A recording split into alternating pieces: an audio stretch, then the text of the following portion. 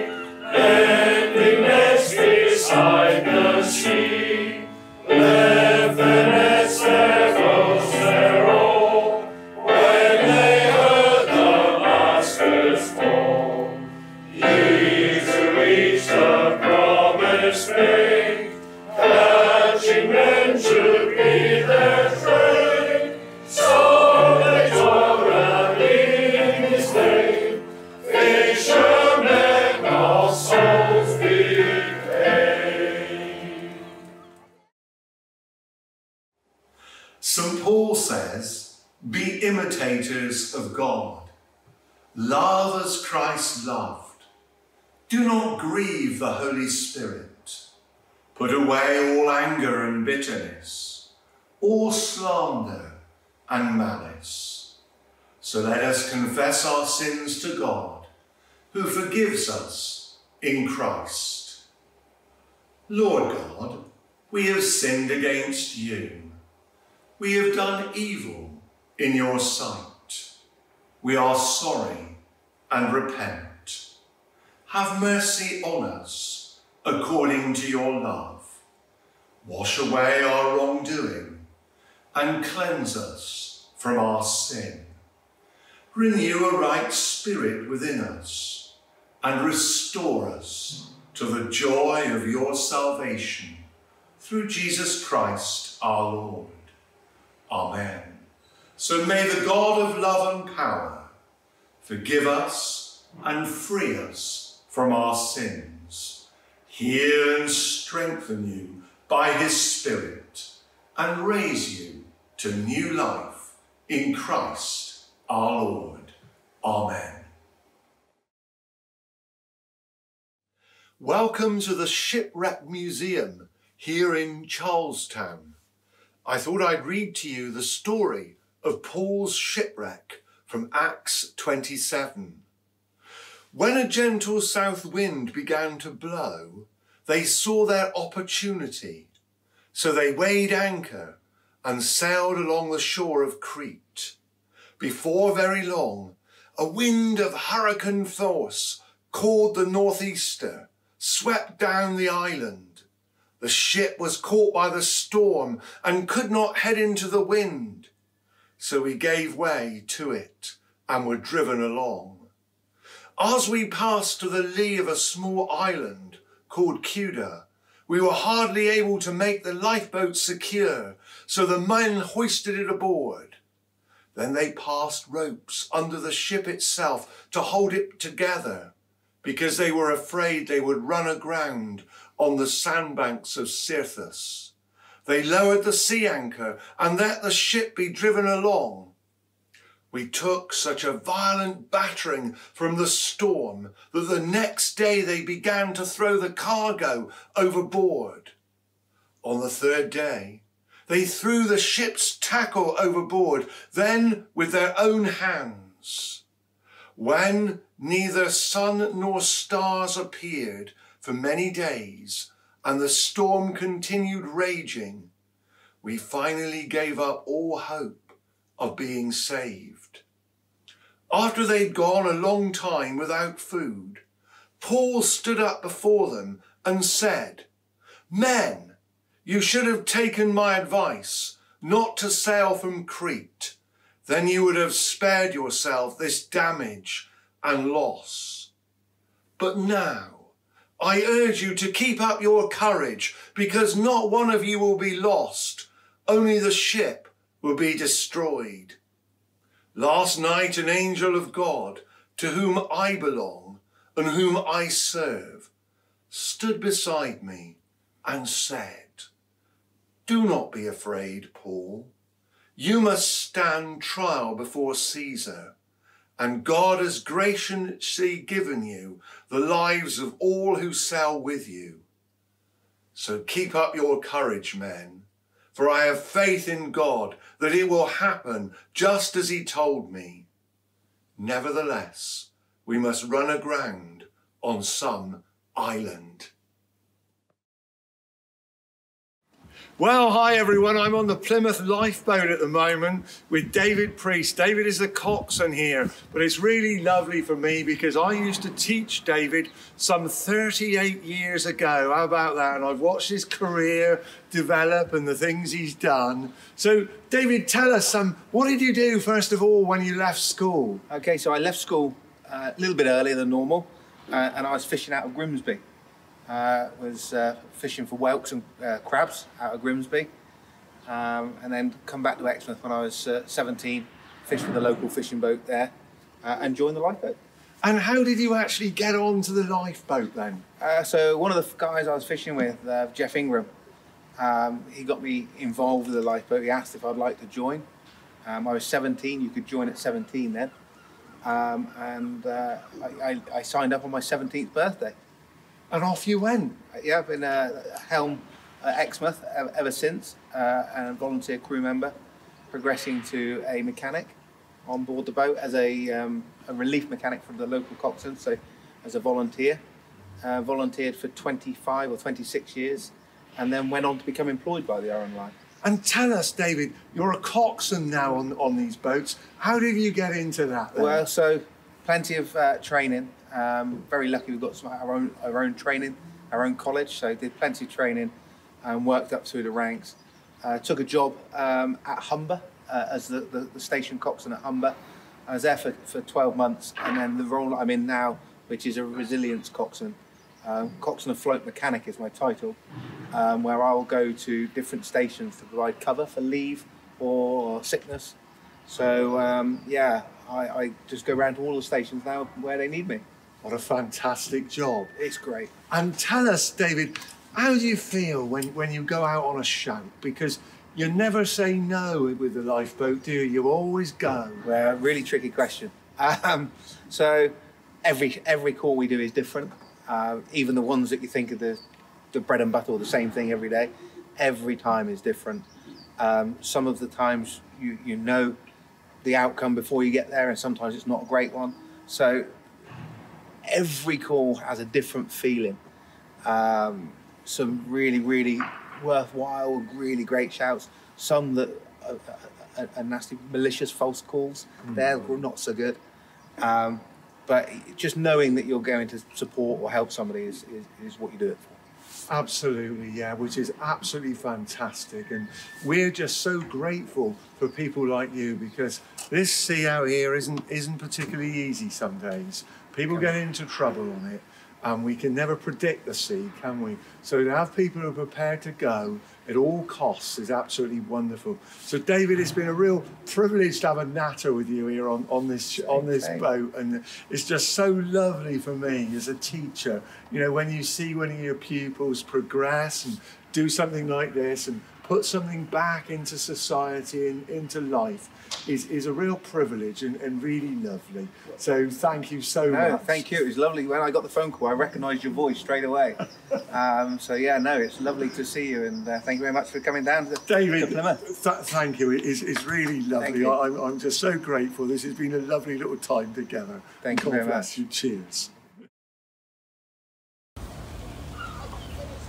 I'm going to be reading from the Gospel according to Luke, chapter 8, verses 22 to 25, a familiar reading to many where Jesus calms the storm. One day, Jesus said to his disciples, Let us go over to the other side of the lake. So they got into a boat and set out. As they sailed, he fell asleep. A squall came down on the lake, so the boat was being swamped, and they were in great danger. The disciples went and woke him, saying, Master, Master, we're going to drown. He got up and rebuked the wind and the raging waters. The storm subsided, and all was calm. Where is your faith? He said to his disciples. In fear and amazement, they asked one another, Who is this? He commands even the winds and the water, and they obey him. This is the Fowey River estuary. Behind me is one of my villages, Polruan, a place of great seafaring tradition.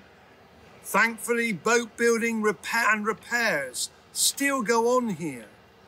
In the Second World War, just up the water from here in Mixtow, a part of the US 1st and 29th Divisions were based as they constructed landing craft for the D-Day landings on the famous Omaha beach.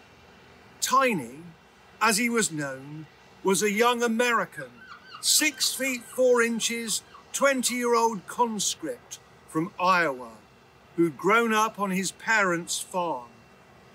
He used to leave the camp and walk in a land a short distance to a local farm where he met a young Cornish farmer of similar age. He wanted to do the honourable thing too and sign up, but he couldn't, as he was needed to farm in the war effort. These two young men became mates.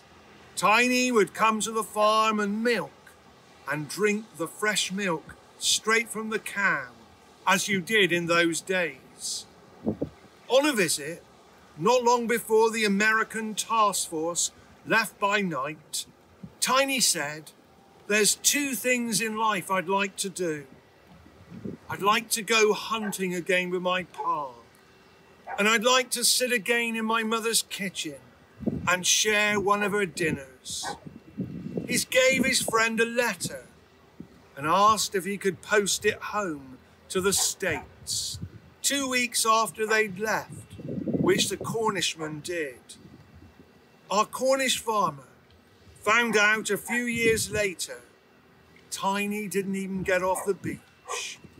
If you've seen the film Saving Private Ryan, the awful beach scenes at the start are meant to have taken place on Omaha Beach. Our Cornish farmer recounted it could have been me, but I've lived to a ripe old age, married, had a family, seen and enjoyed my grandchildren. He kept all his life a scoop that Tiny had carved for him to feed his cattle with, so that his memory and his sacrifice lived on.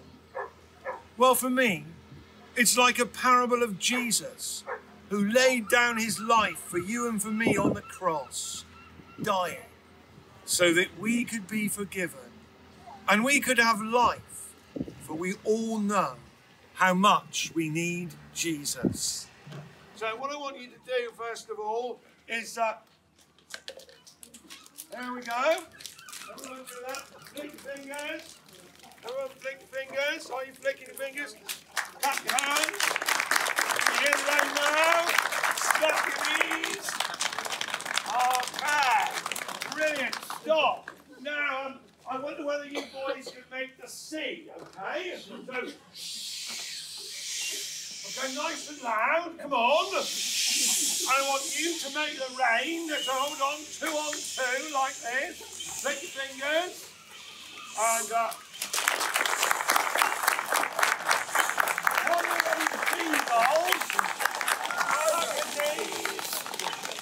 Okay, you got it. Perfect. Now, what I'm going to tell you, hang on a minute. I'm going to tell you, like Jesus in the boat, quiet, be still, okay?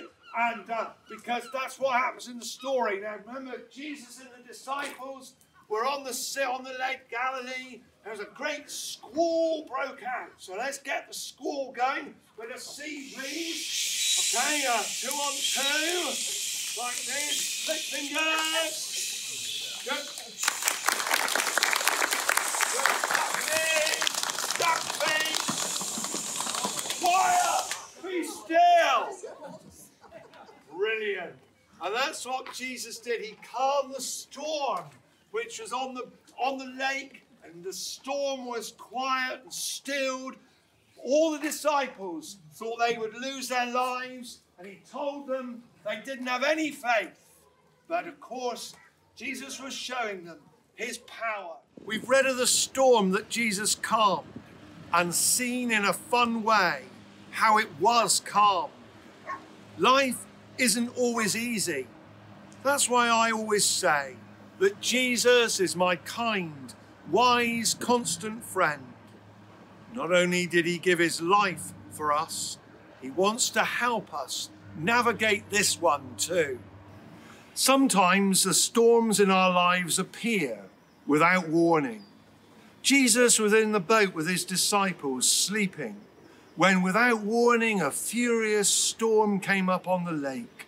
So the waves swept over the boat. Presumably, the disciples were used to storms on the Sea of Galilee. It was renowned for sudden flash storms. However, this one must have been particularly serious, as one of the disciples woke Jesus and said, Don't you care if we're about to drown? During the storms of life, it's natural to panic. Certainly, I tend to, and fear can creep in.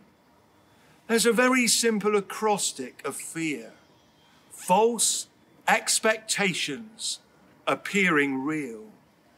Sometimes our response to the storms should be trust.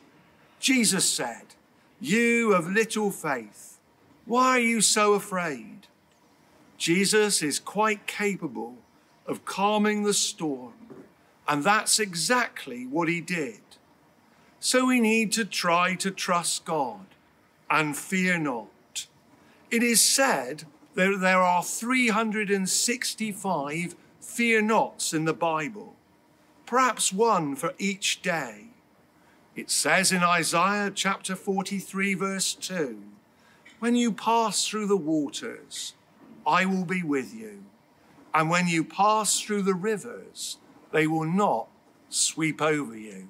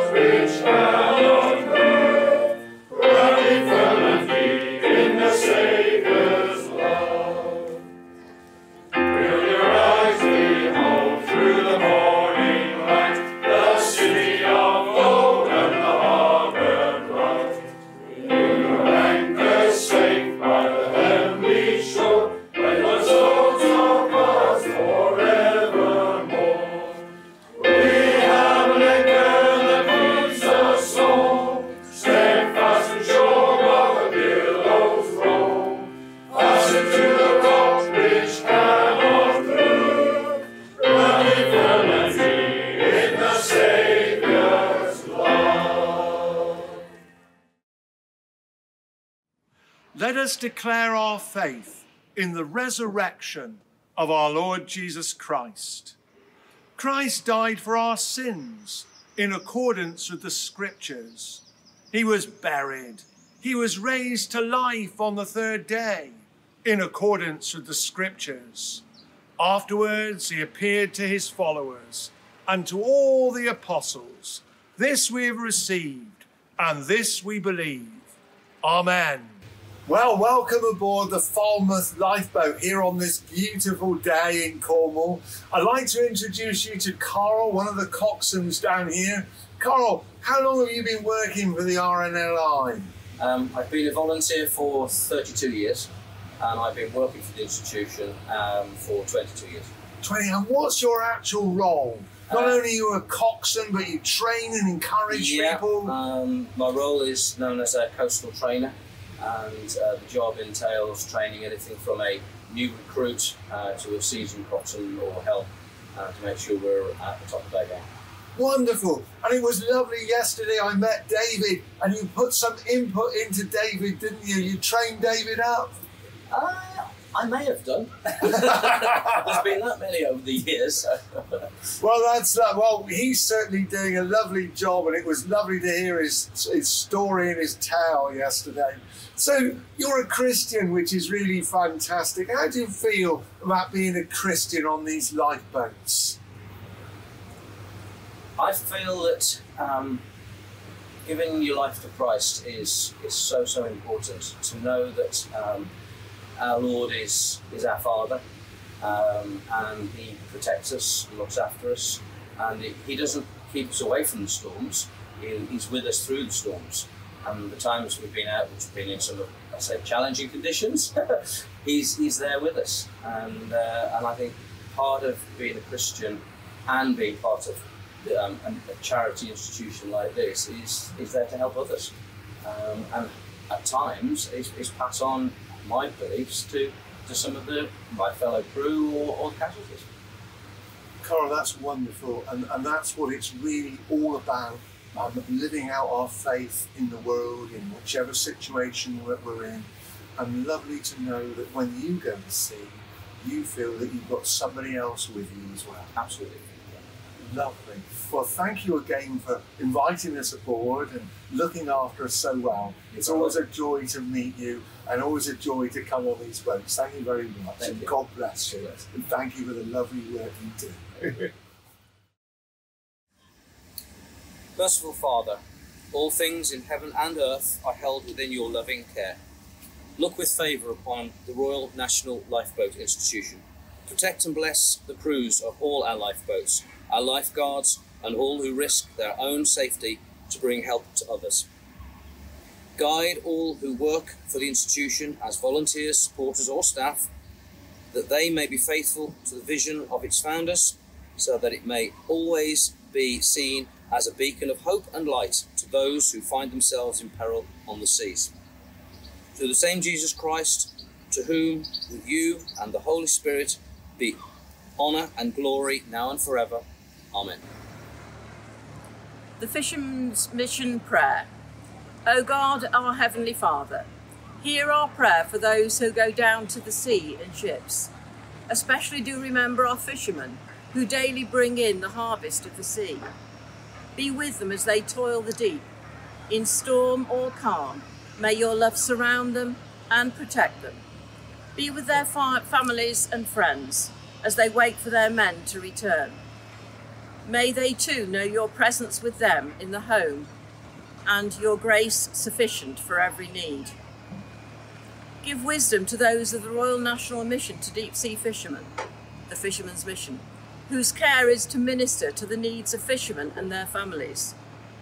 By helpful hands, kindly voices, and loving service, may your love be known among fishing communities, and to- to your name be all glory and praise. Through Jesus Christ our Lord. Amen. This is Godrevy Lighthouse. Heavenly Father, grant thy blessing in a very special manner to the men and women and children in the great lighthouse family scattered up and down the coasts and islands, in the great lakes and rivers, and various seas and oceans in our greater world. Amen. A prayer for the Royal Marines. O eternal Lord God, who through many generations has united and inspired the members of our corps, grant thy blessing, we beseech thee, on Royal Marines serving all round the globe. Bestow thy crown of righteousness upon all our efforts and endeavours, and may our laurels be those of gallantry, honour, loyalty, and courage. We ask these things in the name of Him whose courage never failed, our Redeemer, Jesus Christ. Amen. Lord, we thank you for the rich variety of seafood we can eat, especially fish, crab, lobster, to name but a few. May we be ever grateful for the rich diversity of your creation. May we be good stewards of all that you've entrusted to us and not take an unfair share from the sea. May we be grateful to those who fish to enhance our diets and all those support industries like this beautiful fishmongers here in Looe. Amen. Our Father in heaven, hallowed be your name. Your kingdom come, your will be done, on earth as in heaven. Give us today our daily bread. Forgive us our sins as we forgive those who sin against us. Lead us not into temptation, but deliver us from evil.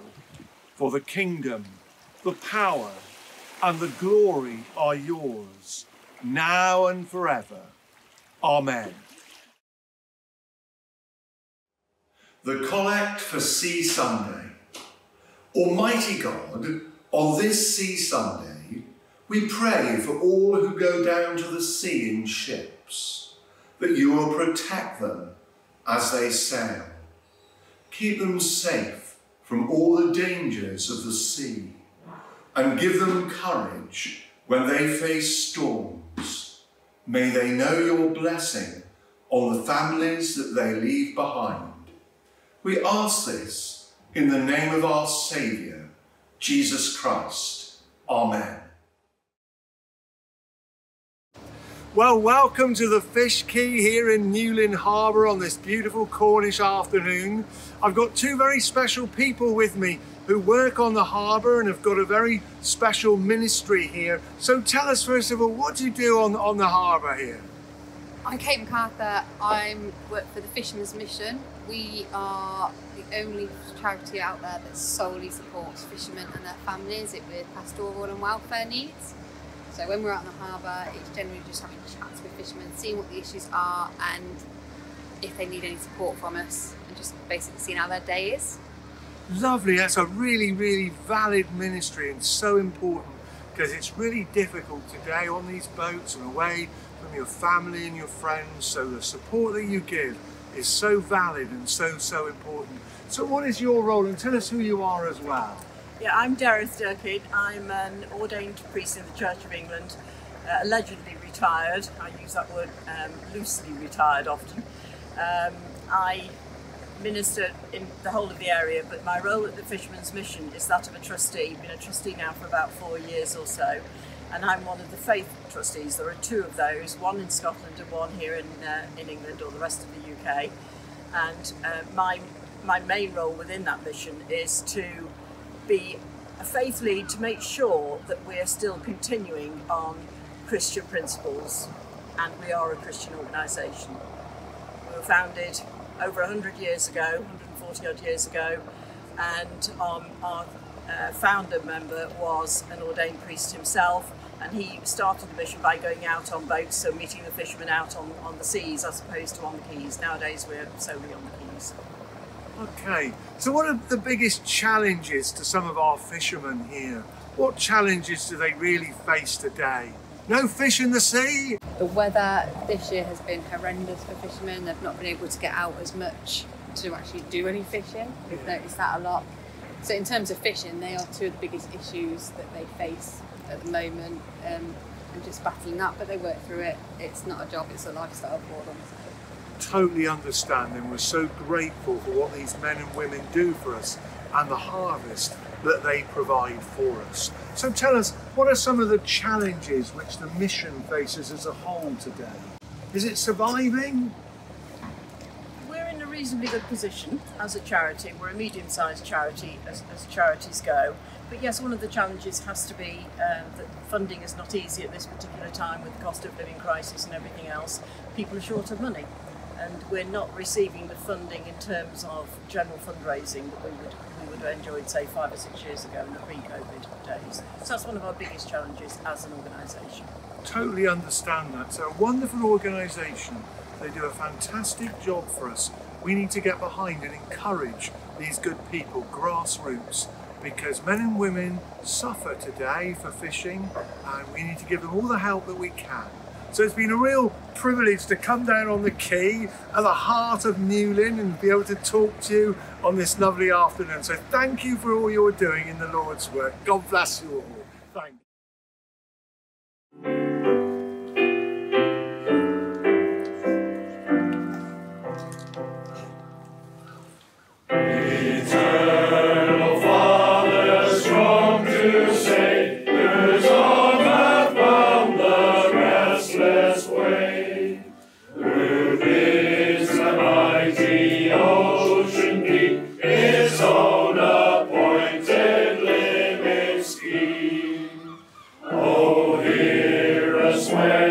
And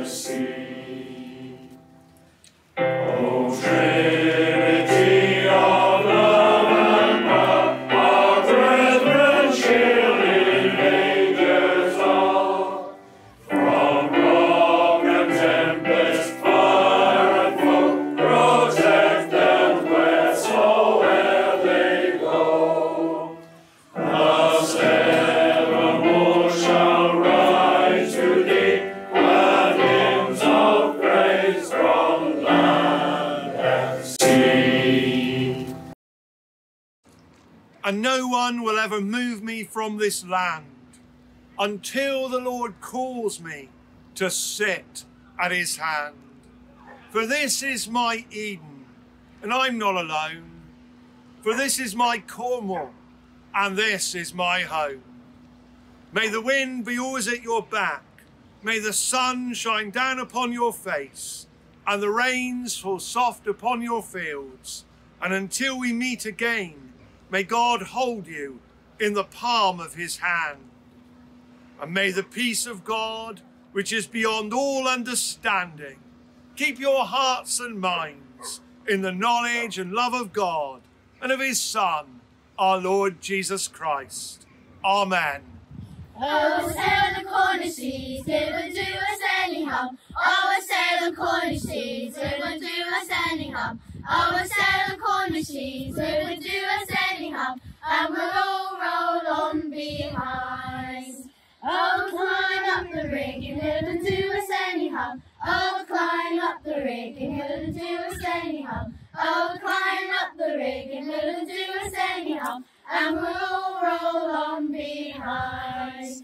Oh, past the and around, will it do us any harm. Oh, a pasty and a rum wouldn't do us any harm. Oh, a pasty and a rum wouldn't do us any harm, and we'll all roll on behind. Oh, it's fish and chips and tea, it won't do us any harm. Oh, it's fish and chips and tea, it won't do us any harm. Oh, it's fish and chips and tea, it won't do us any harm, and we'll all roll on behind.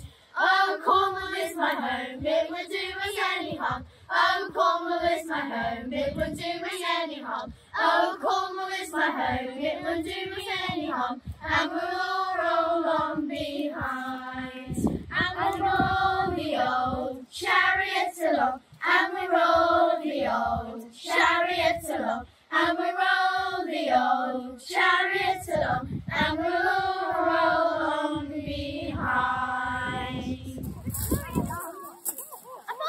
Well, I'm down here on the beach in Talland with some of my friends from Polperro Primary Academy.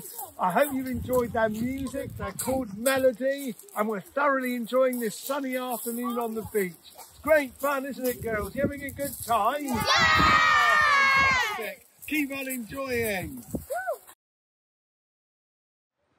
Well, we hope you've enjoyed our service from Cornwall for Sea Sunday and as we've celebrated the harvest of the sea. We hope you have a really lovely week and we hope you've enjoyed being with us. God bless you all.